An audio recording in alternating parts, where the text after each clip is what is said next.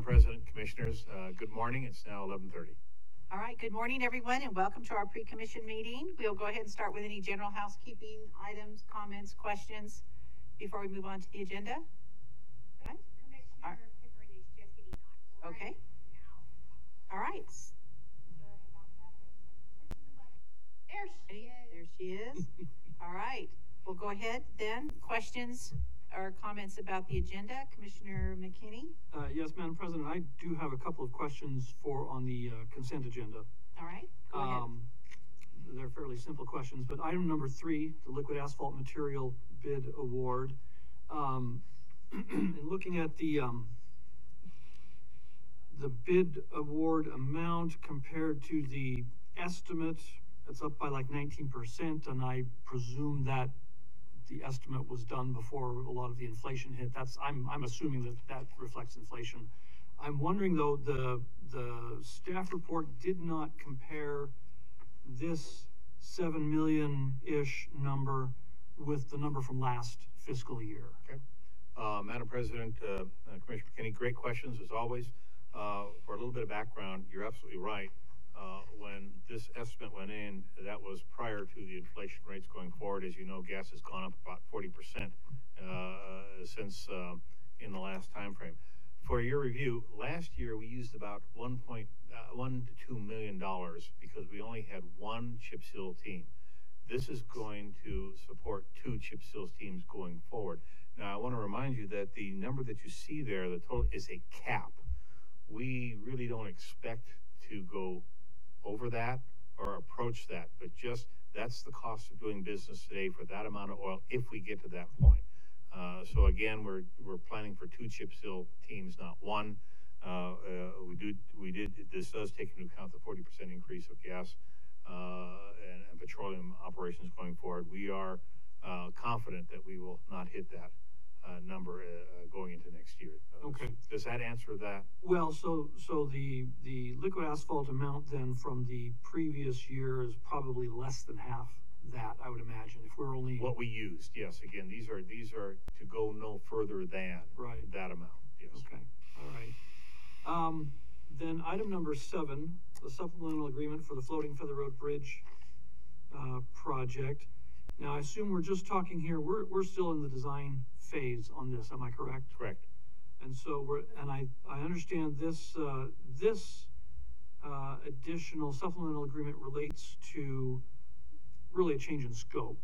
So Yes. an additional item that's being added, so I, I completely understand that, but I'm looking at the total, the total amount of, of, uh, the original contract amount was two hundred sixty-six thousand dollars. We're now over four hundred thousand.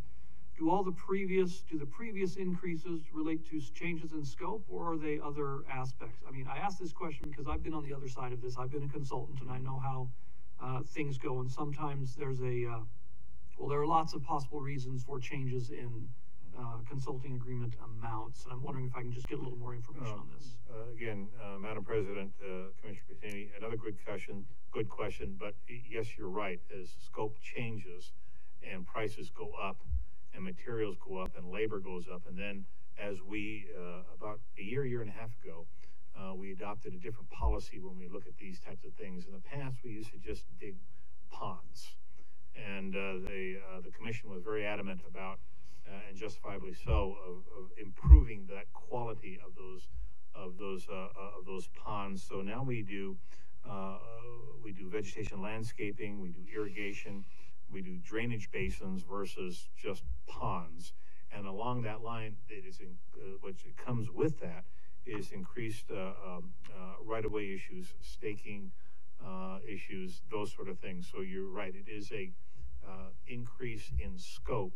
But this one specifically, uh, relates to, our environmental teams and the rules of engagement that we're working under now of not just putting a pond out there, but making it more of a, uh, um, more pleasing, more aesthetic, uh, operation for the community. Uh, uh, does that answer that question? Well, no, and, and I, I absolutely understand, um, that, that doing a pond is something, you know, we're doing something different than we were doing before. But we're only in, you know, labor and materials and so on, I don't think, we're just in the design phase, correct? Right. So these amounts that we're looking at in the supplemental agreements, to date on this project don't have anything to do with labor and materials. They have to do with just the cost of designing things. So my question was, uh, first of all, are these additional, the, the, um, previous supplemental agreements, including this one, do they relate to changes in scope? Or are they, are they primarily focused on changes in scope in the project? Or do they have to do with other reasons for? I'm gonna bring up the He's already, expert on this and he can go into those for you. All right, thank you. welcome, Mr. Lucas. Uh, Thank you. No, good point, good point, sir. Uh, uh, Madam President, members of the commission, uh, thank you. Uh, Commissioner McKinney, these are really good questions, and thanks for raising this. Uh, The, the backstory on this project is it started out just as a bridge project. Um, So we were just designing a bridge over a facility um, up there on Floating Feather. Uh, There was a change of scope additional to the one that we have, we're speaking about today, that was relatively substantial, where we added in some sidewalk gaps, so connecting in some uh, sidewalk and some pathway that connected to some improvements that were done by a subdivision. And so that was covered previously under the previous uh, modifications to this, this effort, which I- I think primarily accounts for the cost that you're, um, that you're considering. So this is not the first scope change, this is really the second uh, kind of major scope change. Um, and, and that addition of the pathway, once again, that was at the direction of the commission to look at areas where we can get in there once and try and make those connections and fill all the gaps uh, we possibly can.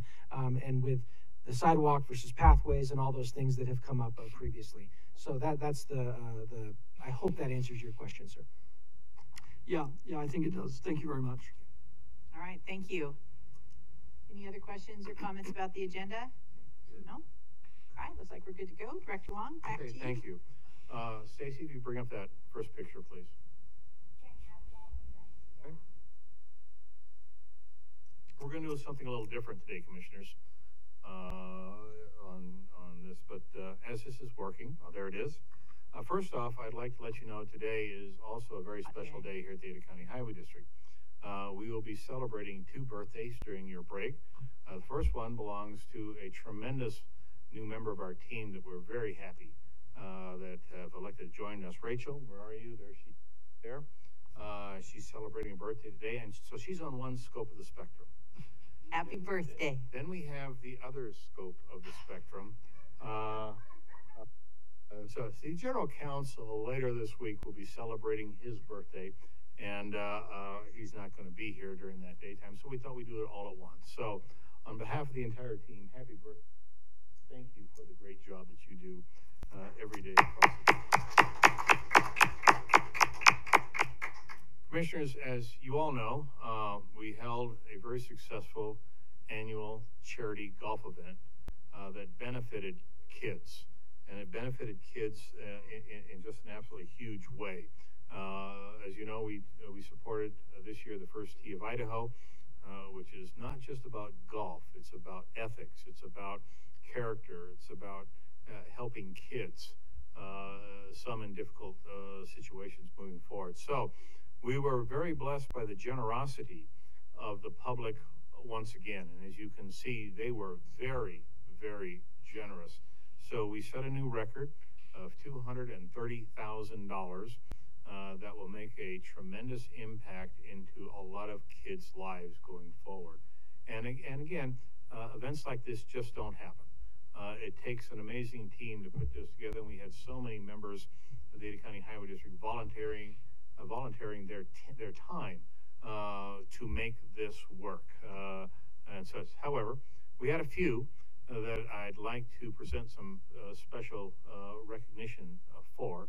I'd like you to come off the dais and congratulate them as we do this, if, if you would, please. So first off, Joe, can you come forward?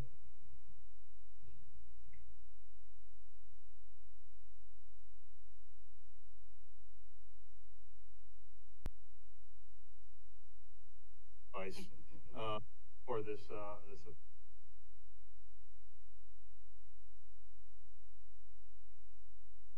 And at the end of the day, uh, uh, we had to give him a day off just to recover. so again,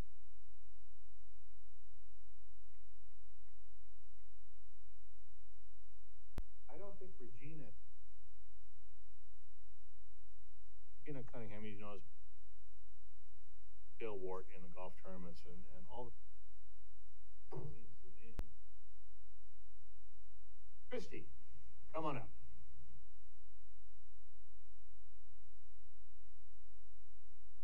Christie is the artist and the brains and all the different things we put up on all those banners that go up on that golf. course. So again, uh, thank you for all that you've done. as-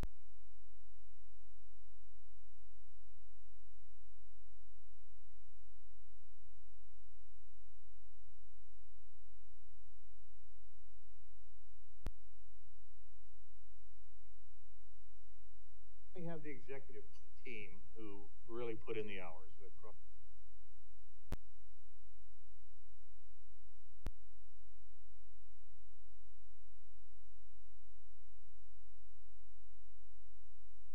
Okay, here he comes.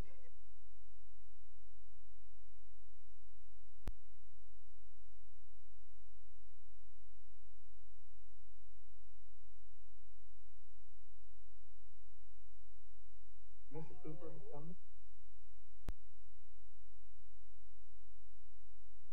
Dean and all put in coordinating, working these things across the board. This golf tournament probably would not have happened again to the success that it did. So with that, Dean, for the tremendous job we.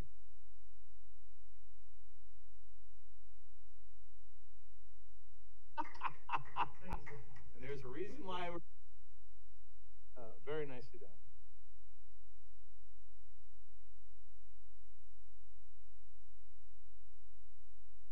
Stacy.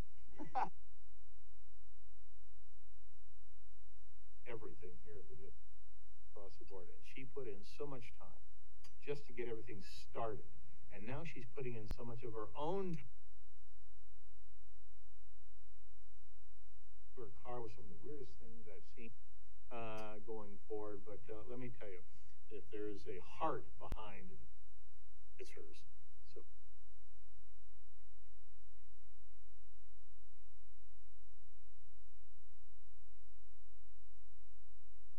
And then we have the.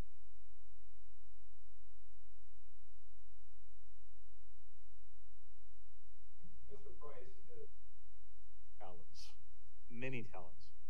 One of them, he should enter the uh, the U.S. National Arm Wrestling Championship of the world because he would win based on all of the arms he twisted uh, to ensure that we had another successful uh, event. Now, Commissioner May, thank you. You were there and you saw what we presented him. I can't present part of that in today's environment uh, here at the district uh, and such. However, Go ahead and smell inside. no, I, I, I, I already checked just to make sure it was, it, it, it was. It's his birthday. It was okay uh, and such. So, uh, that being said, uh, Steve, again, is, he is the tournament. He really is. And without him, uh, there would not be that check and all those smiling faces, uh, and all the children, uh, and military members that he's impacted over the years that we've been doing, uh, this tournament. So Steve, on behalf of the entire organization, once again, thank you for all you do. Looks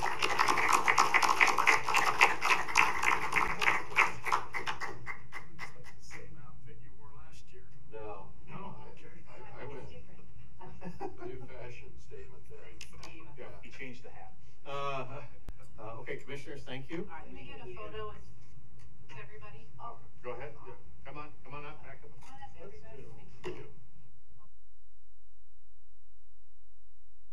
There, there, no mercy here. Uh,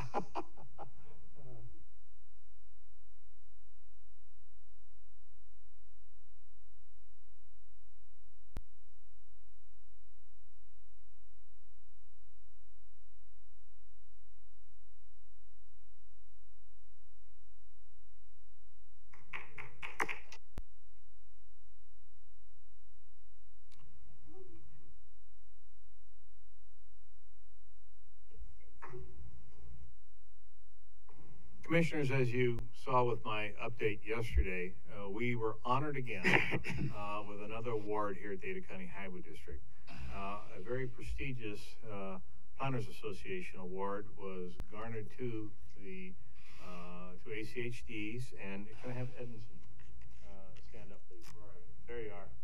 Uh, uh, uh, was the one out of many that was selected, uh, based on his work for the, uh, bicycle map projects here. Uh, and these will be awarded in October, October, so, uh, again, Edison, on behalf of the entire, congratulations, thank you. Good job. And then, uh, for the final part of my director's report, uh, I would like to share two TikTok videos with you. Uh, these are the newest that have come out of our communications team, uh, and uh, the message is get there safely. And I will let the uh, deputy director of communications know that her challenge to me uh, when she said, "If I don't get this, they'll be perfect." I did get them on the first uh, go, and they are perfect uh, and such across the board. So if we could show those to the commission, please. little game to see how good you are at noticing details. When these people go through the crosswalk, count how many times something gets tossed in the air. Ready? Go.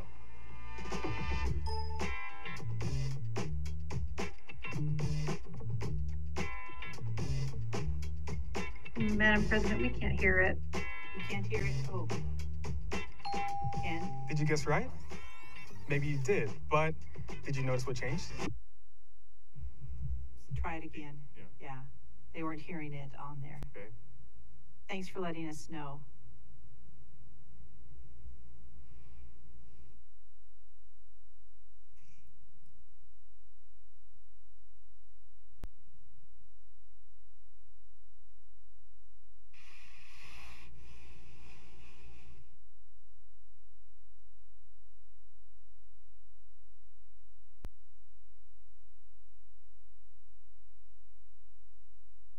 Give a thumbs up, Alexis, if you're hearing it when we start.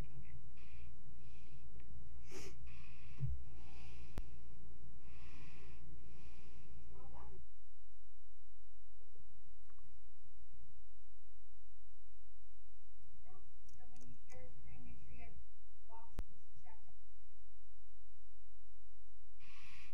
Down there. All right.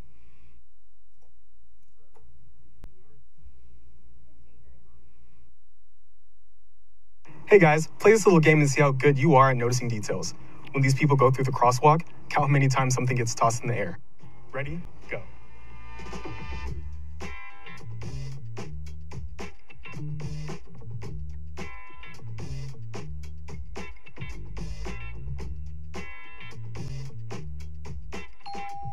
Did you guess right? Maybe you did, but did you notice what changed? Catch any of that? If you're not paying close attention when you drive, you're missing a lot more than you realize. Don't drive distracted. Let's get there safely. Okay, so how many fries do you think my homie can eat with ketchup? Pay super close attention and remember, only only count the ones with ketchup. All right, ready? And go.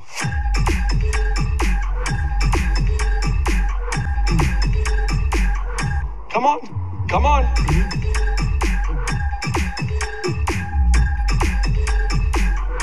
You got it, bro. Keep going. Keep going. Keep going.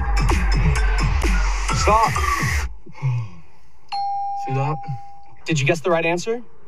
Let's check that replay. Were you so focused on the fries that you totally missed the graham gram at the bus stop? Dance until it all comes falling down. If you're eating or on your phone when you drive, you're missing more than you think. Grandma is popping off. Don't be distracted. Let's get there safely. Where are you? So Commissioner is the first of many on this very important uh, initiative of making sure that uh, uh, uh, drivers are paying attention across the board. So great job. Uh, really appreciated those and stuff. So Commissioners, that's my director's report uh, for the day. Uh, you have a little bit of time. I would uh, invite you all to join Steve and Rachel for some birthday cheesecake uh, in the back, unless you have any questions for me. All right, any questions, comments? No? Madam All right. President. Oh, Commissioner Pickering? Sorry, really quick question, and I, uh, Director Wong, forgive me, I, I think I get this question a lot, and I don't really know how to answer it either, but, um, I've noticed that they're in a new development off of Emerald and Maple Grove on that corner. There is some encroaching, encroachment of like the uh, fencing material. There's a huge apartment complex going in there. And there's a ton of goat heads on their side of the property and on the sidewalks. And so I just kind of want to know who do I need to reach out to to either get the contractor and the developer to do their side of the sidewalk. And then I'll see if I can, you know, wrangle some folks to help get this, the goat heads on the sidewalk on our side of things, but it is like atrocious. It's, it's super bad. Okay, uh, Commissioner, I think you just have. Oh, I, did- I missed that, sorry. You It's on ju- the list. You, you just have. Oh, perfect, thank you. Okay, thanks. All right, any other questions or comments? Okay, thank you. About ten minutes. Yep. So, Commissioners, please join us in the back.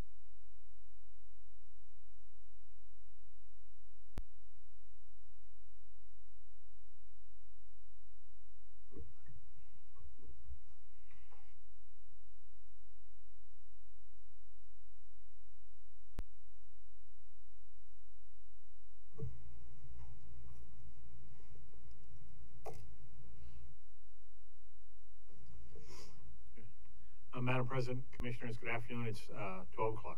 All right, welcome everyone. Please stand and join us with the Pledge of Allegiance.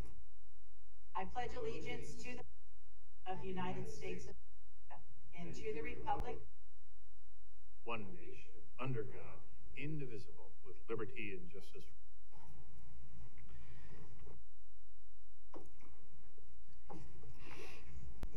All right, thank you very much. First item on our agenda is to adopt it. So moved. Is there a second? Second. All in favor? Aye. Aye. Aye. All right, next item, consent agenda.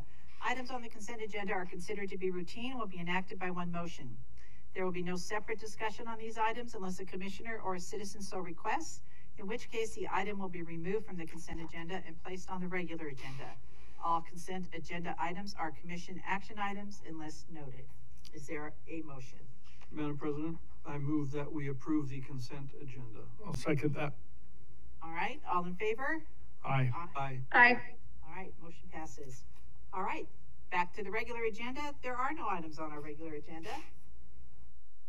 So that will take us down to public communications. Is there anyone here that would like to address the commission or on Zoom, Stacy? Is there anybody on Zoom that would like to address the commission? Would be no. All right, seeing none, then uh, we will stand adjourned. Thank you all for coming. Now we will go into our work session. We have three items on that today, and we will be starting with the Rose Hill Street Temporary Traffic Calming, Roosevelt Street Vista Avenue Concept Pre-Adoption, presentation by staff. And if I'm correct, we are not, this is not an action item today. You will be coming back at the end of the month, correct? Madam President, that's correct. All right, welcome, Ms. Inselman. Thank you. All right, just getting a little adjusted here. Okay. Um, good afternoon, Commission. Um, for the record, Christy Inselman, uh, Planning and Programming Supervisor. I'm here to present to you on the concept study for uh, Rose Hill, Rose Hill Temporary Traffic Calming. Okay, yeah, it works. So just a, a little history on the project, kind of going back and starting from the beginning. So this project came about um, as a commission directive last year when we came to you for the Rose Hill and Owyhee intersection. We received that direction from you guys to come back this year with another concept study to look at the entire corridor because we did hear from residents during that outreach that there were larger issues with the corridor besides just the intersection. Intersection, very important. Thank you. You guys adopted a preferred treatment there. Um, but you also wanted us to come back and look at some temporary treatment options for the corridor. So that's what we did. The uh, consultant firm that we hired was Kittelson and Associates. So the project extents for this is from, is on Rose Hill, from Roosevelt Street to Vista Avenue. It's right at one mile um, in length.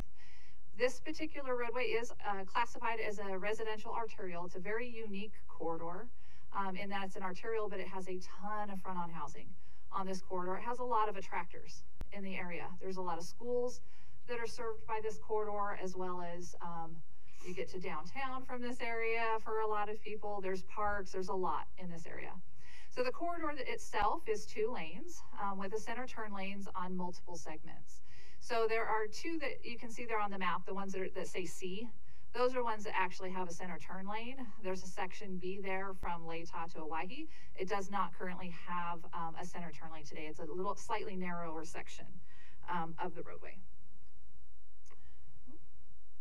So for the public outreach, the first public outreach um, section on this concept study, we went out to the public to find out what their concerns were, what they would like to see for the corridor, um, so we knew what direction to give our consulting firm. So we went out, met with a lot of people, um, wonderful people on that corridor. I feel like I live there now. I've been out there so so often. So we held stakeholder meetings. We started back in February. We held um, six different stakeholder meetings. We met with our um, PAG, ADA, um, and bicycle advisory committees to present on this project and get their feedback. We held an online survey for two weeks in March. Um, we also did a door-to-door outreach to the entire corridor. I knocked on every single door, talked to people, gave them flyers to please participate in the survey. Um, and then we also did a leadership walk on the corridor in the rain. It was beautiful. And uh, it was great. And so we actually got really great response um, for this first public outreach. We had over 200 people respond on this this first phase to tell us what they wanted to see on the corridor. So for their concerns, we did ask them to rank them. So the biggest concerns we saw right there in that box, which was to improve crossings for those that, that walk and bike that corridor. Um, they don't feel safe crossing the corridor. Um, the number two that ranked very high along with the crossings was slowing traffic, vehicle traffic on that corridor.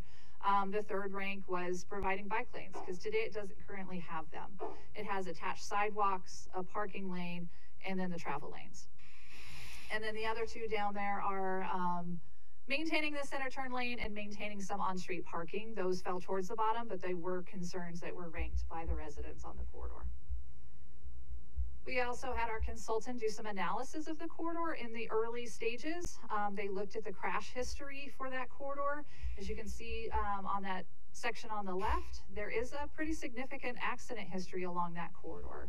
Um, you can see that Rose Hill and Owyhee is one of the areas of concern, but with that new treatment on that intersection, can hopefully reduce those. We also saw that there were some issues there specifically where Vista and Rose Hill tie into each other. That there's a lot of accidents, and it seemed like a lot of the bike and peds occurred there. Majority of those help, um, happened there. And then the traffic speeds and volumes, we found residents telling us that people are going too fast. They are. Um, so the 80, 85th percentile, they are on average going about five uh, miles per hour over the posted speed limit, which is 30 miles an hour. And then the last box there on the um, bottom right is the parking utilization. We wanted to see um, were people actually parking the corridor for that parking lane that runs the entire length. And overall, they're not. There were a few pockets of areas, um, as you can see the orange there, closest to Roosevelt and then closest over on Vista. There were a couple pockets that they were being parked, but the vast majority, it was not a lot of parking that was occurring, and that was witnessed by staff as well. And when they did the parking utilization, they did that over a wide range. They did it during school drop off times, they did it during weekends, they did it mornings, evenings. So they went out a lot to make sure they got accurate data. So after we heard from the public what their concerns were, we had our consultants draft up, draft up three different alternatives for the corridor. Um, so I'm going to walk through each of those alternatives. Um, because this is a temporary treatment, the um, objective was use, utilize the existing infrastructure of the corridor. So these would be temporary treatment options. We're not looking, at least with this concept, to go in and rip anything out. We want to use what's there. And the width of the corridor currently is between 43 and 47 feet wide. So that's what we worked within. So alternative one, oh, and uh, towards the end, we also looked at some additional spot treatments that we asked the public to weigh in on. So I'll go over those after I go through the corridor um, alternatives. So uh, alternative number one is separated bike lanes, um, keeping the center turn lane and no parking. So in essence, what you're seeing here is removing all of the parking that was existing on the corridor and replacing it with bike facilities. And those bike facilities are protected. It's a little hard to see in the picture, but we are showing some candlesticks and um, does this bad guy got a pointer? Is it the side? Maybe? Point to where we're doing that.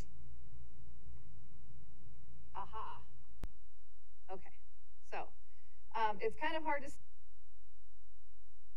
Candlesticks is a treatment called an armadillo. So that's something that we potentially would look as well. So those are a little bit lower profile um, than the candlesticks, but they are reflective and they are permanently mounted to the ground so that a car hit, is going to give it a little nudge. It's not going to be super comfortable for a car to hit those. So that's what we're currently showing.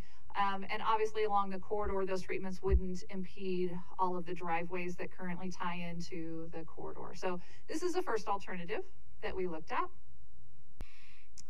Alternative number two is um, separated bike lanes. Again, it's very similar to that first treatment with regards to um, providing bike facilities that are protected with those armadillos and a um, candlestick style. Um, but we would be keeping on-street parking on one side of the road and that would alternate. So we wouldn't keep it just on one side, the entire corridor. It actually would change from side to side, which in effect would also create a bit of a chicane effect where you don't have that long straight corridor, it's going to force the traffic to pay attention a little bit more and move from side to side. Um, and with this, though, we're removing that center turn lane. So cars that are turning would stop the lane of traffic in order to turn. Alternative number three is um, a chicane treatment um, on some sections of the corridor, um, keeping on-street parking where it is today, in essence, except for, um, whoops, me go back. You can kind of see this here of the chicane where we'd use paint and some vertical elements to, again, make the cars move um, within the corridor itself. And then the center turn lanes would be turned into a kind of pseudo landscape median. It's, meant to replicate that, so we would lose the, the center land, landscape medians on this one as well. So those are the three alternatives that we put out to the public. And so during our second outreach efforts, um, we wanted to hear from them what their preference was. So we had an online survey showing those draft alternatives um, from June 9th through the 23rd. We also held a PIM on the 16th. And when we got the initial results from that, we had about 86 people participate, which was great. But we found that very few people that actually live on the corridor participated in the online survey. So we conducted another corridor outreach, a door to door. We went to every neighbor on the corridor. Um, I personally got to talk to about 27 residents, um, and that was great. We got a few more people to participate, um, and that was held over five days. It took us five days to do it because um, I talk a lot, and I wanted to make sure they understood all of our alternatives. I'll be completely honest. So, um, what did we hear from everybody? So we've got two graphs here on the bottom. So the first one, oops, I keep hitting the wrong button. Um, so the first one here is what we heard collectively from every single person that took the survey, whether they live on the corridor or not. Um, and as you can see, the first alternative overall was higher, but alternative two was a close second. Um, but if we look specifically at people that live on the corridor, um, that switches. We see that alternative two jumps out and alternative three jumps out. And part of that reason that we heard from the door to door knock was parking. They wanted to retain some parking. And alternative number one does not provide any parking for the people along the corridor. So between the public's recommendation and the project team, um, we are recommending alternative number two because that provides some of the facilities that the um, public told us that they wanted, which is the bike facilities, but also retaining some of that parking that's needed. Um, the parking would go where we're seeing the need for the parking. Because of that parking utilization, we have a really great idea where the corridors currently parked today that we can continue to maintain that for them. So um, the estimated cost to do this, it is a temporary treatment, is about 390,000. And um, this is one we would look to roll in as an in-house design so that we can stay on track with the same time frame as the Rose Hill and Owyhee intersection project that is also currently under design today. And so those are the alternatives. And now I'll talk about the additional treatment options. So we went to the public with four additional treatment options along the corridor in addition to those other alternatives. And the ones we took to them were speed cushions. And so these are kind of a, I like to call it a cousin of a speed bump. Um, they're not quite the same. They're a little, bit longer and flatter on the top, but th this is an example where there's cutouts on those um, speed cushions and those are specifically designed for emergency services um, so that they are not hindered in any way. And um, as an aside, all of these treatment options and these alternatives, we did meet with the um, uh, Boise Fire um, to talk to them about these treatments, and they were actually fine with all of them. So that's why we left them in. So the second treatment option is the traffic circle. Um, these are some just some smaller treatments that would go in a couple of the intersections to again try to divert that traffic so it's not a long straight corridor to try to get the people to slow down a little bit and be a little bit more cognizant of, of what's happening at those intersections, um, specifically with like bikes and peds crossing. The third option was speed feedback signs, and I will tell you, driving down that corridor, again, it's so wide open and it's so straight. I caught myself speeding going down that corridor. It is very easy to do. So these are kind of nice because they tell you immediately whether you're meeting the posted speed limit.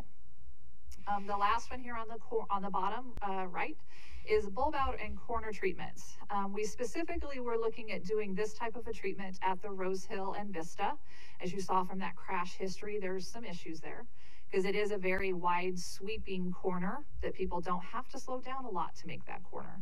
So in essence, this would replicate a new curb line. So cars making that southbound turn lane or even the left turn lane onto Rose Hill would have to make a more of a 90 degree angle and couldn't make such a wide sweeping turn. This is again, some of these pictures are not the ex- exact of what's going to go out there because we were not, we would not put some uh, just cones out there in the middle. But we were trying to find some picture representation because we've not really done this before. So this is what we have.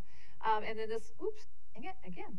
And this one here on the corner, there would be, in addition to some hard treatments like the armadillo or even um, these treatments up here, these are uh, fixed to the ground and they're kind of like a like a stopper bar that we could even um, put down in here.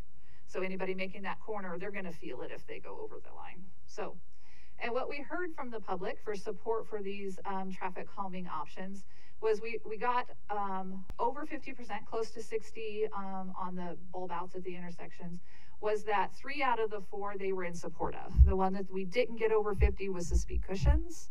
Um, so that's not one we would make a recommendation recommendation to take forward, but we would take the um, other three as part of our recommendation. So the next steps in the process is to come back to you and get your preferred alternative.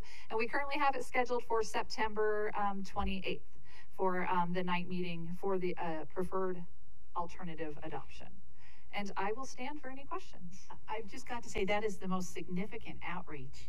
The way that you, I mean, I kind of lost count of how many times you've gone back and done yes. a touchback, and so you know you've really got some reliable data as to what the preference is out there. Yes. So yeah. they got to know me by name. There's a yeah. Christy, you're here. Back. She comes again. Yeah, so you're here again. yeah, very impressive. Very impressive. Thank, Thank you, you, for doing that.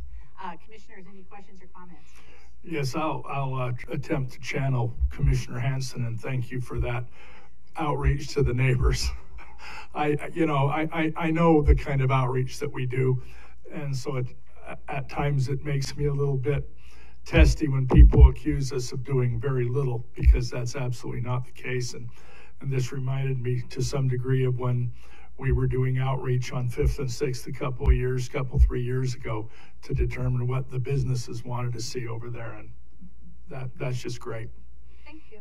Really exceptional. Yeah, thank you very Madam much. Madam President. Uh, Commissioner Pickering. I just want to say thank you, Christy, and um, I'm piggybacking on what Commissioner Goldthorpe shared. I think again, the work that you did to do the door knocking, you know, that we could have gone into a different direction and just supported option one initially. And again, I think it's so impactful to have those one-on-one conversations. And I know it takes time and resources, but it helps us make so much better decisions. So I just want to say thank you for that. And um, yeah, caring so much about the folks on the corridor as well as just doing a really good project. And I want to just highlight that I really appreciate the packet that you presented from Kittelson. Like I loved that you had the crash data there. That really helps us understand the need and the historical background. And of course, that's just the, what actually has happened, not the near misses, right? So we know that there's probably how many more near misses that haven't been counted, right? So just want to say thank you for that and making sure that that was part of this packet, as well as that parking utilization. That, I think that was fantastic. Again, helps us make really good decisions and, and reinforcing what folks on the ground are saying is or isn't happening and how we should build that road. So, um, and then of course, like the turning radius, I'm just like, yes, because I've seen that myself. I just think that's a fantastic idea. And we can test and see if that makes any differences with those, you know, lower impact improvements. Um, so yeah, I just want to say thank you. And, and is there any talk about doing a leading pedestrian interval if it isn't already on that Vista Rose Hill um, intersection? Um, Madam President, Commissioner Pickering, yeah, we are um, at a couple of the intersections that are currently signalized. Um, we are looking at that as as part of this as well. Sorry, I didn't speak to that.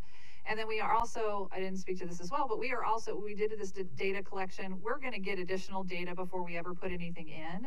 And then we're going to go back. And that's one of the things that we talk to the residents about is that's one of the good things about the temporary treatment option is we can go put something out there leave in for a while so people get used to it and then go back and see is it working taking additional analysis after is it is it slowing traffic do people feel safer crossing um, the intersection? So we're we're doing a lot of that as well. And then just as a tag on to that um, outreach, I do got to give a shout out to our wonderful communication staff who went out with me and braved the uh, heat and everything, as well as our interns. They they were wonderful enough to go out there with me and, t- and talk to the public as well. So That's fantastic. And I just want to say too. I noticed in the, in the packet, it said that folks thought that the, the median turning lane was helpful. Could you explain a little bit, like, was it just helpful to turn or were there other insights about retaining that center turn lane that are helpful? Uh, Madam President, Commissioner Pickering, yes. Um, a few people that we talked to, um, they went back and forth on that. Most of them did like to have that because it's existing. Obviously, there's a section that doesn't have it today, so we have to, the travel lane just stops. And they felt that, you know, they were a little bit hesitant about removing that because it does help them get in and out. But again, with that mini roundabout going in, that's gonna help some turning movements so they don't necessarily feel like they have to turn left. They'll be able to go down there and make that little sweeping turn to go the other direction and not have to make those um, a little riskier riskier movements. But it's it's kind of one of those where you kind of got to get used to um, and we do expect to see some type of a result of that immediately but then once people get used to the um, the treatment on there but again it's if it's not working then we can look at doing something else yeah Because I wonder too if it's, um, if, if it's rooted in the fact that people go fast. And, you know, they need, they feel safer, right, getting out of Yep. the travel lane. So again, hopefully with some of these treatments, that speed and fear can be diminished so that it's a lot more comfortable to, to make those turns, but. Okay, thank you, Christy. Great work. thank you And we'll find out that data, right, when you Yep, go back out there. absolutely. So, We will. yeah, yeah, significant value added again. Yeah, very, very good job, Christy. Commissioner McKinney? Yes, uh, thank you, Madam President. Um, Christy, this is all very good. Thank you for this. Let me ask a, a couple of questions, and I wonder, I don't know if we can bring back the slides. There are, there are a couple I'd like to refer to. Um, first of all, is the intention, uh, with, uh, option two, uh, would that alternative, uh, ah place That the parking there we go. Yeah, let's see. My, my understanding, correct me if I'm wrong, is that there are, there are significant portions of this, uh, uh, corridor that have driveways, hou- houses that front onto the street with their driveways, and portions that don't. Is that, is that accurate? Um, Madam President, Commissioner, um, McKinney, that is, the, there are a lot of driveways, um, Okay. on there. There are some that don't front directly. If there is a side street, some of the residents actually front onto those side streets. Mhm. Um, but there's still a significant number. I'd say there's approximately eighty homes that have driveways directly onto Right. Rose Hill on this one mile stretch. And we have segments where there's driveways on both sides, so you've got homes fronting on both sides of the street, okay? Absolutely. Because I, I have to say, I, I, I have to admit, if, if I were a resident, I would want to be able to have parking in front of my home. And so I can, I can certainly understand that, why the residents wouldn't want all of the parking to be eliminated. Is the intent, um, is the intent to, uh, keep center turn lanes where cross streets meet? For example, you have some of these, um, uh, just residential cross streets that connect, but we don't have, uh, you know, it might be a, a three-way intersection, a T intersection or the like. Is there intention to keep left turn lanes, center left turn lanes there? Um, Madam President, Commissioner McKinney, no, in most cases. So there are multiple intersections that are currently signalized where we have those left turn lanes. So um, Rose Hill and Roosevelt is is signalized, Latah is signalized. We would be doing a new treatment at Rose Hill and Owyhee, which would be the um, mini roundabout where people can make those turning movements, and then down at Vista. But the, there are a couple side streets, and most of them dead end. Most of them don't go through. Um, those ones, there's not enough room, is really the reason why we wouldn't do some type of like a left turn bay or something like that, because there's just, we're limited. When we're trying to use the existing infrastructure Mm-hmm. and trying to put bike lanes and trying to keep some parking, we just can't fit it all in. Right. But Well, we I- did, um, if you can kind of see on the map, is that the, the map that we're showing? So you can see here, um, and I, these two streets right here where we've denoted, those are ones that we would look to do those, um, temporary traffic circles. So those would aid in some of that turning movement. Oh, I see. So a temporary traffic circle, not just at the, uh, we, we see something at the intersection of, um, I don't know what street that is there, uh, in the middle. This one Yeah. is Rose Hill and Owyhee. This is Right. the, um, alternative that you guys, um, approved last year. And Okay. then for temporary, we would look at these two locations for some, um, traffic circles, temporary traffic circles to help with those turning movements as well. Okay. Eh, would, would it not be, if you're gonna put in a traffic circle, a temporary traffic circle at those locations, would you not have to eliminate the on-street parking to make room for the traffic circle in any case? And, um, Commissioner McKinney, that's something we would work out in design, but some of those locations, yes, we would want to eliminate at those intersections potentially anyway for sight distance. For Okay. pedestrians crossing and things like that. We don't, we don't want cars parking all the way up to the intersection anyway. Right. Um, and they're not allowed today anyway. There's already signs out there say no parking from here, like to the intersection. So it- we would similarly do that, but all of the signage and paint markings and locations would all be worked out in design this next year. Okay, well, and the reason I ask is because if you have to, if you have to take extra space in any case, it would seem that the option of a center left turn lane right in that vicinity I see what is- you're is saying. still, uh, is still a possibility. Okay, um, what is this new, uh, we've, we've talked about, you know, traffic calming and so on. Are there any specific provisions, though, for uh, enhancing uh, specifically the safety of crossings? Because that was one of the bigger, big uh, issues that the residents uh, noted. Um, What does this plan do specifically for crossing treatments?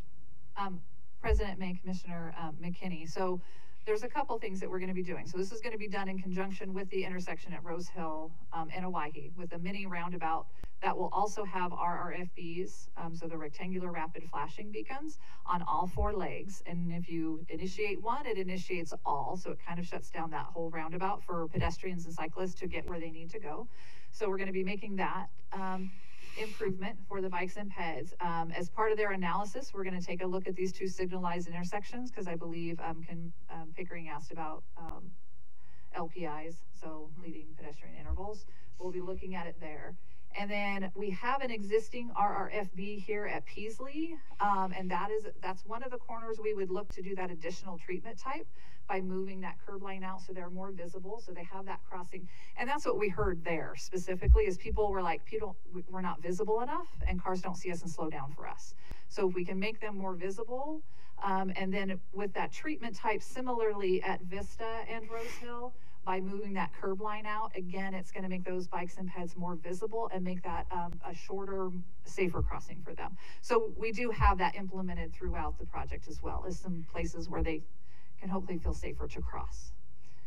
And we'll find out after, we'll go back out and talk to them, and do you feel safer crossing this Right. roadway now with these treatments? And if they don't, then there's something else we need to try. Right? Yeah. Okay, I agree. I think these are all uh, very good uh, items. I look forward to the final plan. Thank you. Yeah, Thank you. absolutely. Any other questions or comments? All right, thank you very much. You, here, I'll get to the end of mine, 'cause I Good know- job. You jumped the gun on me. All right, next up, Boise Central Bench Neighborhood Transportation Plan. Again, a pre-adoption presentation. Recent award winner. Congratulations again. Thank you, Commissioner May. Welcome. Just gonna test it this quickly. There we go. Good afternoon, Commission. My name is Edison Bautista, ACHD Senior Transportation Planner. In today's work session, we wanted to give you an update on the Boise Central Bench Neighborhood Transportation Plan, including a summary of the public involvement and the proposed project list. This work session is information briefing only, so no decision, uh, so no decision is required from the commission at this time. Uh, we're also planning to come back in front of the commission for adoption consideration on September twenty-eighth, twenty twenty-two. We look forward. Oh, uh, this present, I wanted to begin this presentation with an introduction to what are neighborhood plans and how are we using them uh, as an ACHD planning tool. Uh, the concept of neighborhood plans started back in 2012 with the development and adoption of the Boise Central Bench. The primary purpose of these plans is to work with the communities and identify priorities for future transportation plans projects. To allow us to focus on, on a neighborhood level, we decided to break up the county into more concentrated planning areas based on each of the city's comprehensive plans. Uh, the image on this slide shows the breakdown of these planning areas. In total, we have 15 planning areas without including downtown Boise. With that brief introduction, I'm happy to inform you that this year we're completing the development of the first iteration of the neighborhood plans with the Barber Valley Neighborhood Plan and starting a new cycle of updates with the Boise Central Bench. In addition to the planning area, in this slide, we wanted to present ACH, ACHD level completion for all or county-wide neighborhood plans. Of the 1,272 projects identified, 301 projects have been completed, and 322 projects are programmed in the adopted Integrated Priority Work Plan 2022-2026. Combining both numbers, this represents a level of completion of 49%. This graph reflects that once these neighborhood plans are adopted, there is an ongoing process to evaluate and construct the identified projects. The Boise Central, the Boise Central Bench planning area and key destinations are highlighted in this slide. The light polygon delineates the planning area.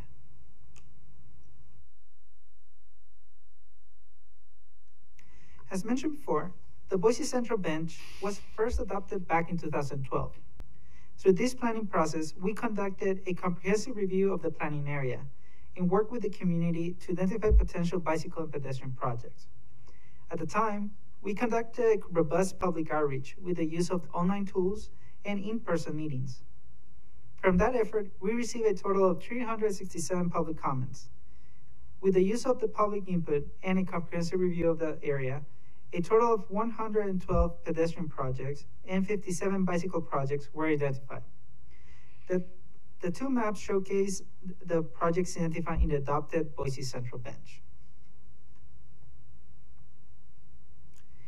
In this slide, we wanted to, to showcase the projects completed in the Boise Central Bench area. In summary, ACHD has completed a total of 56 projects, which represent 36 pedestrian projects, 16 pro bicycle projects, and two crossing projects. This project includes the Cassia Street Bikeway, the Shoshone Street Bikeway, Emerald Street Bike and Pedestrian Improvement, Alpine Street Pedestrian Improvement, and Phillippi Bicycle and Pedestrian Improvements. In total, this project represents an approximate investment of $25 million to date, not including projects associated with maintenance, safe sidewalk, and ADA improvement projects. In addition to the work done so far, ACHD continues to plan and program projects in the Boise, in the Boise Central Bench area. Some of these projects include the Kidney Street project, the Roosevelt Street project, and the Nez Perce Street, just to mention a few.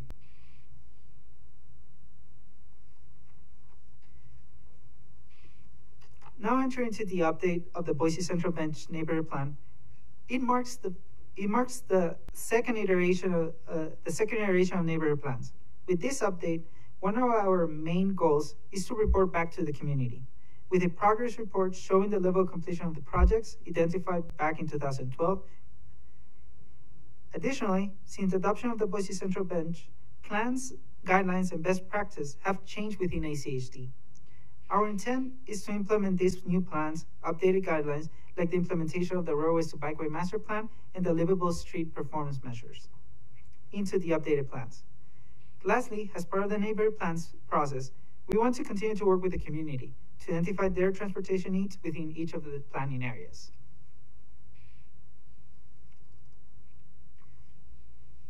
One of our main goals through this neighborhood plan process is to engage and work with the community to identify what improvements are needed within each of their neighborhoods. To achieve this goal, we met with community groups and key stakeholders to inform them about the project, collect initial input, and respond questions regarding the plan and updating process. Following these meetings, we coordinate with the school district and schools in the area to know what, uh, more about how students travel to and from school, their experiences and challenges. Additionally, we conducted a virtual public uh, outreach to reach out to the general public to present our findings and collect input regarding their transportation needs. With information collected, we identified, reviewed, and prioritized additional projects to include in the recommended project list. For the school outreach, ACHD coordinated with the Boise School District to reach out to the schools within the planning area. From this effort, three schools participated in the Boise Central Bench area, with eight class representing eight classrooms participating, participating between fourth and sixth, sixth grade, which represent a total of 162 students. Some of the comments received including concerns with vehicle speeds, busy streets, and having to cross major roadways. For public outreach, the, a virtual tool was launched from April 5th to May 3rd, and the public was invited to provide comments on their transportation needs in the central bench. A total of 300 comments were received during this period. From this effort, the public provided comments regarding sidewalk gaps, Orchard, the Orchard Street corridor, and a bikeway improvements to avoid major roadways.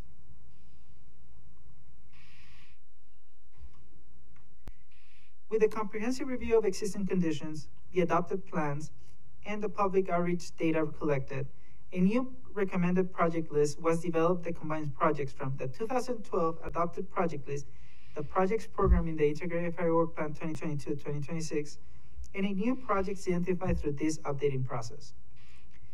The complete draft recommended project list was included in the staff report. This draft project list consists of 88 projects, where 16 are bicycle projects, 38 pedestrian and ADA projects, 7 crossing projects, 9 intersection improvement projects, 2 shared use pathway projects, 2 road roadway improvement projects, 3 bridge projects, 8 traffic calming projects, and 3 planning, 3 planning projects. Additionally, staff would like to highlight, as shown in this slide and the slide before, that there is a total of 50 projects programmed in the adopted Integrated Five-Year Work Plan 2022-2026.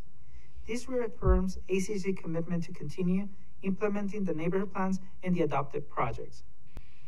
The remaining 38 projects break down into 18 new projects and 20 previously identified projects.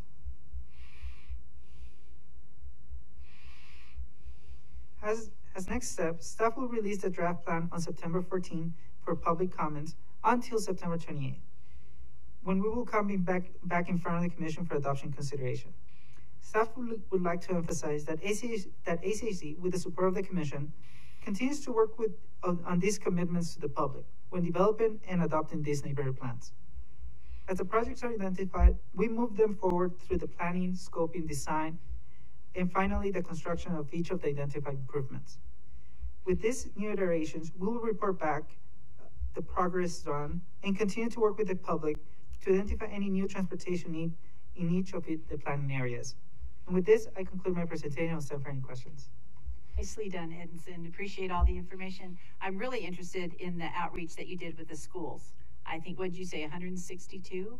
Is that correct? Correct. Yeah, I'd, I'd like to hear a little bit more. Not necessarily today, but um, part of the presentation, what they had to say, what their input was, because I think that was really an important uh, part of this important piece to hear what the kids have to say. So nicely done. Thank you.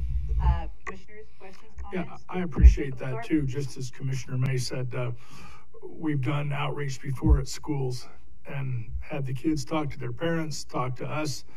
And I know that in my district down around Lake Hazel Elementary and Middle, that has made a big difference in the uh, facilities that we've constructed, whether they be temporary or permanent or sidewalk gap fillers. Thank you.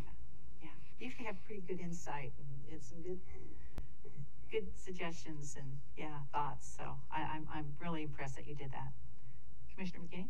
Yeah, uh, Edinson, just one one quick question on the um, online interactive tool that was uh, used for the people to uh, make comments.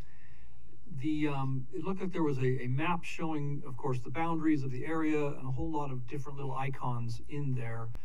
Does it is it showing the location of where the commenter lives, or is it the location of, of where the commenter is making suggestions? Or does it do both? President May, Commissioner McKinney, it, it, it refers to the location that they're, uh, re, they're referenced. So it will be the location they are looking to, for an improvement or a need. Okay, great, thank you. Uh, obviously, this, this kind of information is always helpful and look forward to all of your recommendations. When you- when you come Madam in, President? Commissioner Pickering?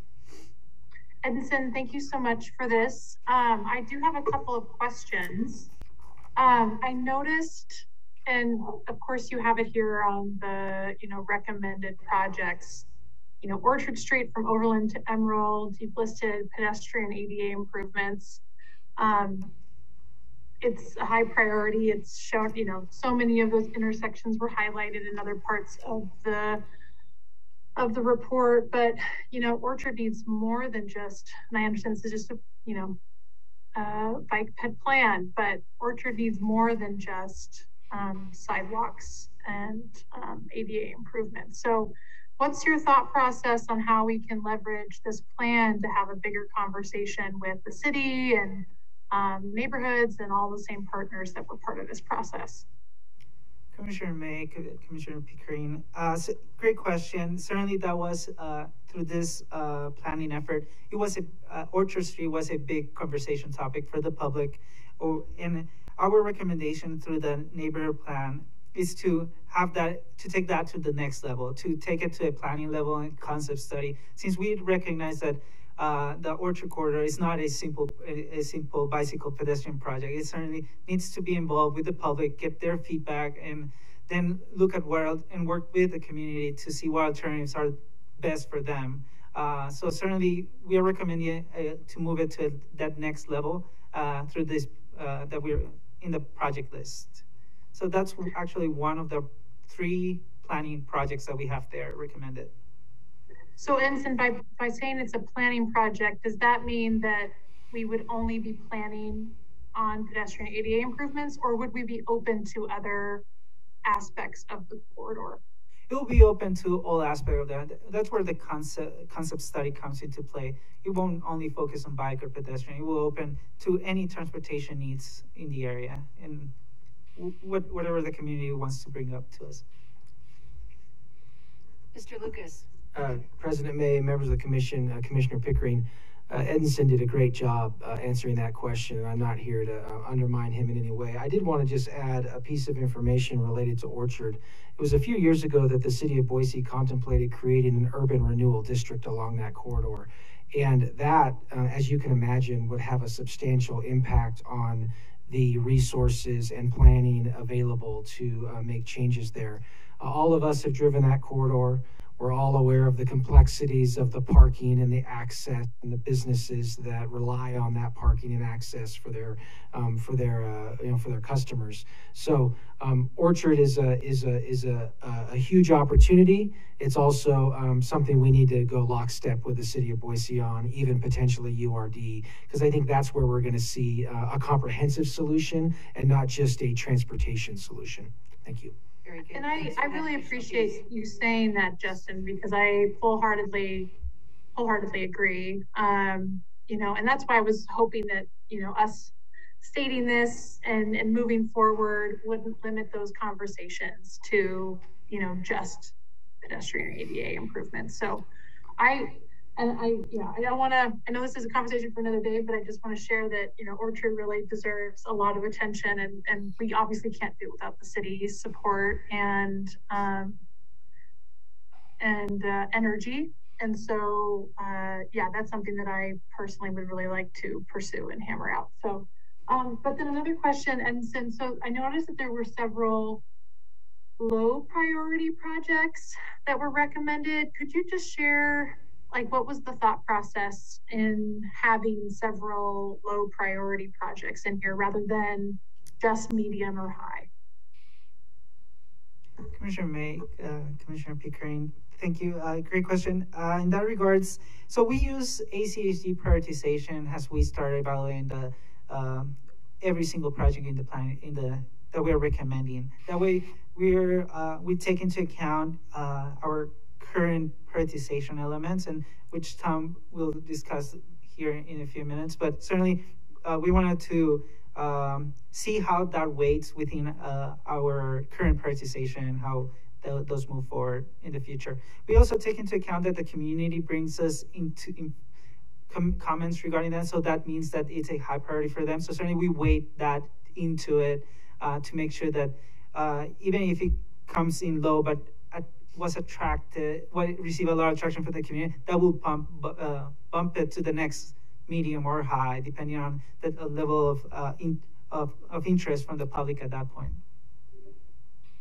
So wait, wait, wait, I think I'm, let me just repeat what I think I heard. So if a lot of people have it as a low priority, it's more likely to come on to our recommended project list? Is that what you said, or? Oh, sorry for the confusion. No, I, what I meant is that when we do the prioritization prioritization for the project list, after we apply the uh, the our prioritization, ACHD prioritization into the projects, uh, if the then then we apply a weight into each of the projects based on the public interest. So let's say Gotcha. we receive more attraction to a specific location, that receive additional points to make sure that those locations of high interest are moving forward faster than other ones, at least at the neighborhood level. Then they will move into the integrated five-year work plan process where they take a different a different process certainly, but yeah.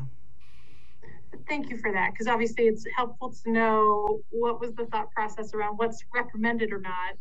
Um, because as you can see, there's a ton of uh, opportunities for us to improve all across that entire neighborhood. So thanks for that, Edinson. And then one last question.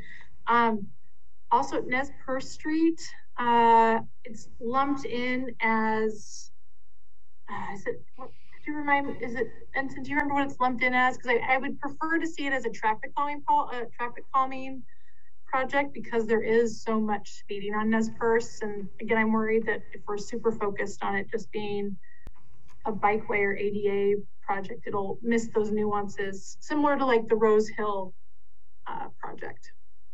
Um, uh, Madam President and Commissioner Pickering, yes, uh, Rose Hill, we have it to have a traffic calming. Nez Perce, uh, yes, you, you're right. We have it as in uh, bicycle and ADA and pedestrian ADA improvement. So certainly we can accommodate that modification, certainly. Thank you, Edinson. Thanks, Madam President. You bet. Any Ma- other questions yes. or comments? Commissioner Goldthorpe? I'm going to go back and probe the depths of Justin's memory. Since he brought it up, but I was going to anyway.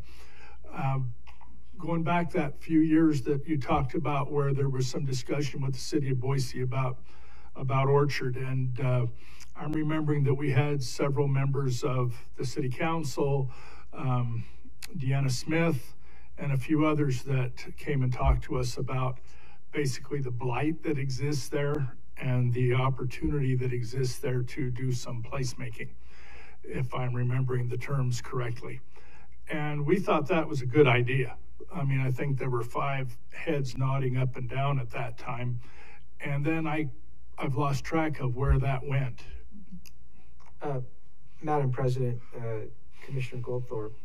So, um, our understanding right now, uh, as it relates to the Orchard corridor, is that the city, um, and I, it's hard for me to speak on behalf of the city. I'm just giving you my impression, just to be clear. I, I don't, I don't know into the into the into the mind of of, of the city, but it, it appears that the city has prioritized the State Street corridor and the Vista corridor um, at this point in their process when it comes to uh, the urban renewal areas and the other things that they have been focusing on.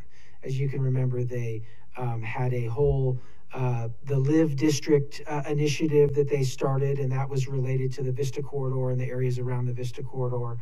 Um, and then obviously they did when they were studying the URDs, they were looking at two. They were looking at State Street and they were looking at Orchard. And um, uh, apparently, for whatever reason, and I don't know, they decided to move forward with State Street and then just pause on Orchard. So um, the status right now on Orchard is, um, you know, we're, we're awaiting, you know, more more action from the city there. And then they're also undergoing a comprehensive zoning code update, which may have an impact on a corridor like Orchard, where the new zoning um, regulations may allow for more and, and diverse types of uses. Um, that's, I guess that remains to be seen. So I don't know if that exactly answers your question, Commissioner Goldthorpe. There has been a lot It of activity. It pretty but- much does, yeah. because there seemed to be, again, my memory, uh, there seemed to be quite a sense of urgency at the time. and when, when, and that was a few years ago. Um, and when you look at it, it's still the same. And we have uh, a constant stream of, of teleses about some of the uh, road improvements, moving pipelines, and all that stuff in that area where the uh, tank farm is, and which is in closer proximity to Orchard. So I, I just wanted to bring it up because if uh, anybody on the Zoom from Boise is uh, is there, maybe they might want to uh, bring us up to date a little bit about their particular intentions on it as well. I know that Vista and State Street are at the top of their list. Yes, sir. Still on the radar. There's a lot of different variables and nuances that we're waiting to see how they all Commissioners, play out. yeah, absolutely. As you can see, it's once again, it's mentioned in the neighborhood plan. We have done a lot of work on parallel corridors in this area to Orchard, trying to make sure that there is good access um, in and around that area. Orchard itself, um, just due to the nature, it presents some some some challenges and obviously some opportunities. So, yeah, thank, Thank you. All right, any other questions or comments? All right, seeing none. Edinson, thank you very much. We look forward to seeing you on the twenty-eighth. All right, project prioritization update and next steps, presentation by Mr. Tom Laws. Welcome. Hello, Madam President, members of the commission.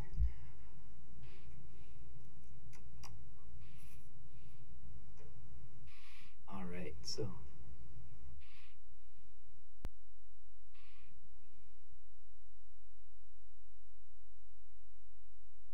There we go. Perfect. So for the record, my name is Tom Laws, Planning and Programming Manager here with the Ada County Highway District, and I'm, I'm really excited to bring to you today um, the next update with the ACHD project prioritization um, process. So over the next few slides, I'll just give a quick refresher of that timeline and our initial findings review. Um, I'll talk about the implementation that has been occurring over the last few months since we um, last brought this to you back in June, and then go into a little detail about the next steps. Super. But just as a reminder, when we talk about prioritization and how that fits into the integrated five-year work plan, prioritization is really the method by which projects can be ranked or defined based on a, a set of criteria. Um, it's really only one component of that programming uh, effort, um, one tool in the toolbox, where um, once that prioritization ranking is in place, it then goes into that programming component, which looks at a variety of things such as schedule, timing, um, and, and really funding availability for where these programs can be placed in the integrated five-year work plan. And so, um, you know, at that point, um, we're able to incorporate those and, and program them into the budget, into the integrated five-year work plan. Uh, Looking over the timeline, uh, this effort was originally a, a commission directive back at the, the budget adoption hearing for the FY 22-23 budget um, last August. And, and since that time, we've had several coordination meetings. Um, in green here, you'll see the commission work sessions that we've held. In red are our internal stakeholder meetings. Um, and then blue, uh, meeting with our, our, our partner stakeholders, uh, roughly a 15 person um, core team there. And really, the, the goal of this effort was to um, break down into three different tasks. The first being an existing methodology and process review of, of our current methodology. Um, the second task being the national best practice review and comparing our methodology to our peers across the nation. And then task three is that enhancement and implementation of the findings. Uh, So as a reminder, back in June, uh, we had our consultant Fehr and Peers come from Salt Lake to present some of those findings. Um, over uh, really the spring of this year, uh, they examined about 12 different agencies from state DOTs to metropolitan planning organizations to, to cities um, about the same size and structure of the highway district and, and compared our methodology with theirs. And, and really what they found is across the board, ACHD is indeed a leader with national best practice. That's terrific. Yeah, That's- absolutely. Yeah.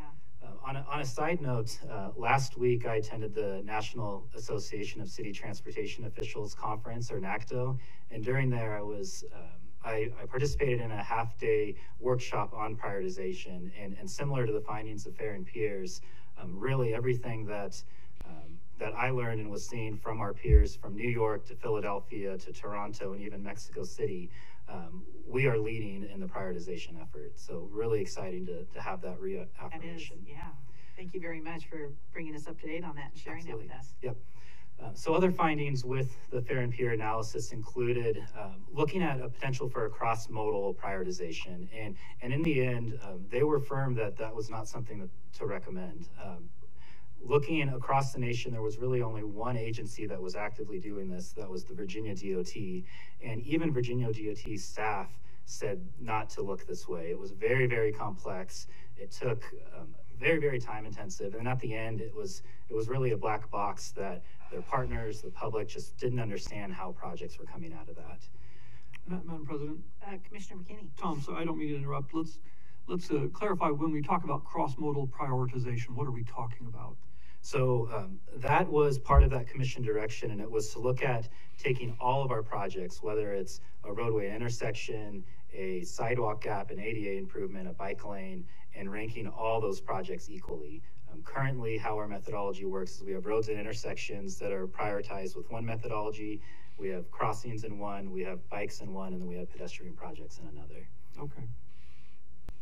Um, and so finally, the, the third recommendation was really minor enhancements. So as I mentioned, um, we're really doing this right today. And so were there some small changes that we could make just to really fine tune it and make it even better?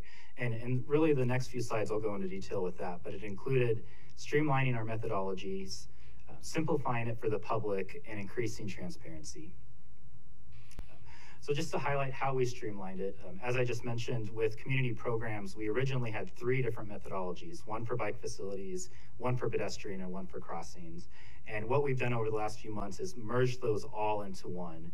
And, and really an example of how we did that or what we've included with this new methodology is adding the level of traffic stress component for bicycle and pedestrians. Um, throughout the last three months, um, we've tested this with our existing methodology, and Fehr and Peers also tested this, and it, it, passed that eyeball test. It passed that gut check that yes, this methodology is working as we intended. Um, it also um, was previously and, and still is on a 100 point scale, which was something that we heard was really important from peer cities that you get into a way that's really digestible for both partners and the public. With roads and intersections, we also took this and, and tried to simplify it in a few ways. And really, the biggest with this component was um, historically, our methodology wasn't on a 100 point scale. And so we, we took that and we tried to average it out to reach that 100 point scale. But then we also simplified a few things. So, for example, our annual congestion benefit cost benefit ratio and our annual safety cost benefit ratio were merged um, with our original methodology. We pulled those out. So, if we really want to get into that level of detail of looking at what's the safety benefit of one project versus the other, the congestion benefit of one versus the other, um, we're now able to do that diving into how we simplify this for, for public use. Really, what we focused on are um, highly visual infographics um, and really simplifying the process as much as possible. So, here are just two examples of those graphics that we've created. There's about a dozen so far um, that, that Fehr and Peers has helped us with. And it's everything from really it's it's really at the end of the day telling our story and telling what ACHD is doing with the prioritization process, with the programming process, and the integrated five-year work plan. So here's a simple one on the left of simply what does the integrated five-year work plan do, and then on the right it details how projects are selected, starting with our city and county comprehensive plans, moving through Compass and community communities in motion, down to our strategic plan, our neighborhood plans and concept studies like you just heard from Christy and Edinson, and eventually tying into that integrated five-year work plan. The third thing was increasing transparency. We currently have an existing website. Um, you're probably most familiar with it with our integrated five-year work plan annual report where it's it's an interactive map that you can scroll down, click on individual projects. But one thing that our other peers had and that Fehr and Peers was recommending was really try to beef that beef up that uh, website presence, add more of these infographics. And so this is just a template of what that website would look like. We're working closely and plan to work closely with our communications team for when the branding comes out to really tie this together and make sure that it's on par with timing, everything. All, exactly. yeah. Um, but so um, what our intent is at least is to have several different pages. So at the top here, you can see we have the overview page of prioritization and the work plan. Um, what are the different programs we have? How are projects eligible? What's the due dates and timelines, and how to how to apply and more. Um, and so there are several pages like this that'll have. Um, this is the process flow throughout the year. Um, here's another example of how projects are selected, going from existing plans like our neighborhood plans, going from public requests or applications, um, do that, going through that prioritization programming and eventually into the work plan. Um, and then also really just telling that calendar story. So when does the official integrated five-year work plan begin for the next iteration? And you know, where are those opportunities throughout the year for the public to get involved, for our partners to get involved, and, and so forth.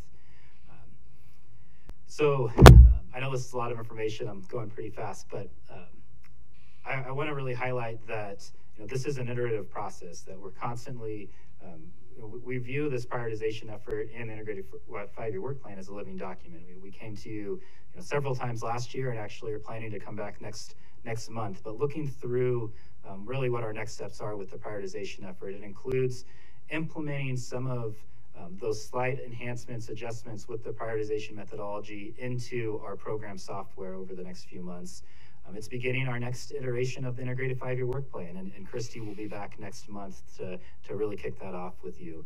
Um, it's, it's holding our partner agency kickoff meetings and, and informing them and, and really tying in, or I guess tying up that stakeholder committee that we've had and really looking forward to their integrated five-year work plan next steps.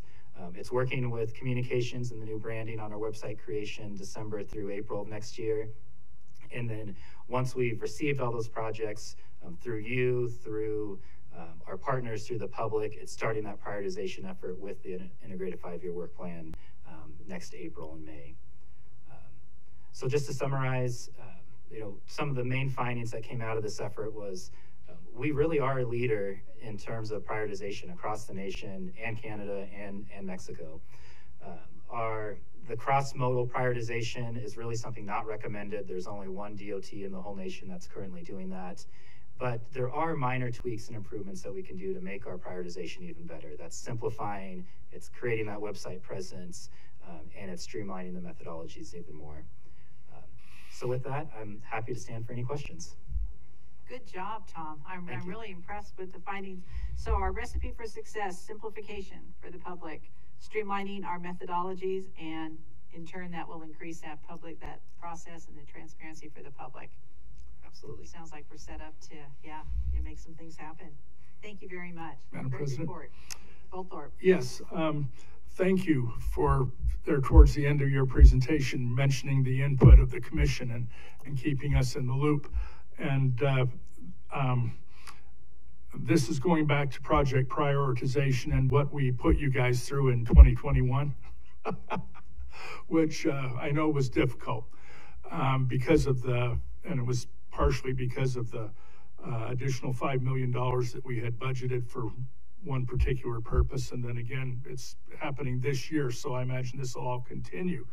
But there was a number of projects that uh, were scoped for our benefit. And there were a couple of projects that were actually planned for construction this summer, small ones. And I'm, I'm, I'm asking you to maybe check, uh, uh, do some homework for me because the uh, crosswalk at uh, um, Spring Golden Valley, which was for this summer, has not yet been done. And I know it's uh, a part of what we have done an incredible job with on those sidewalk gaps and other small projects that have made it so those two schools, uh, because of the improvements we've made between the middle and elementary school, there are much shorter lines of cars delivering kids to school in the morning, which has uh, alleviated quite a bit of the congestion, and there's a lot larger bike racks because of what those um, projects have resulted in. So I just wanted to, to bring up before the cold weather hit that that was still hanging out there. Thank you. President May, uh, Commissioner Goldthorpe, absolutely. And our intent is at that October kickoff meeting to come back and provide some updates to several of those um, accelerated scoping efforts. So, okay, now this was this was scoped and and designed, so it's ready to shovel ready to, from what I was, what I understand. And here comes the guru. Lucas. Uh, Commissioners, uh, good afternoon. Um, Madam President, Commissioner Goldthorpe, I am familiar with this request uh, at Spring Golden Valley. Um, we, we did, um, and this is just off my recollection, uh, we did look at this project. I, and I'm not trying to contradict you, but I do not believe it is scheduled for constru- construction this summer. What we, what we uh, provided, I believe, to the commission several months ago as an update on that project, and it may not have been verbally, it may have just been a, a spreadsheet or in writing. I'll I go don't back and remember look. hearing And, and I, I, and I totally understand that. So we provide, we provide a lot of things, and I, um, but I believe what we said was we were gonna roll that project into the larger Valley project, which is, um, this, that corridor. Okay, all the there's way a through to sidewalk Amity, gap all the yes. way through up to Amity. So yeah, I, I just, I don't, I don't want you to have a, um, an unmet expectation that there is gonna be something happening on that specific crosswalk. Um, but let me loop, look, let's loop back with you and get you that information and, the, and those details on that specific project. Okay, because Um, I'd just been asked by some of the neighbors. I, and I totally understand that. And so let me just make sure I, I, I'm, I'm going off the top of my head, but I, I, I do not want you to, I don't want to have an unmet expectation. So let's make sure we get you the, the, cor- the correct information. Thank you. Okay, thank you, sir. Thank you, Judge. Any other questions or comments? Yes, yes, uh, Commissioner Pickering needed to drop off, but she wanted to make sure that for the record, that she loves the new methodology approach with the hundred point scale and really appreciates the simplicity. Okay, any other? Uh, Let me just say thank you, Tom, and look forward to, uh, moving forward with the, uh, additional, uh, planning that we're scheduled to do. Yeah, yeah, great report. Appreciate the update. Thanks. All right, thank you very much. All right, that was the last work session on our agenda. So we can just put that down. That's a wrap.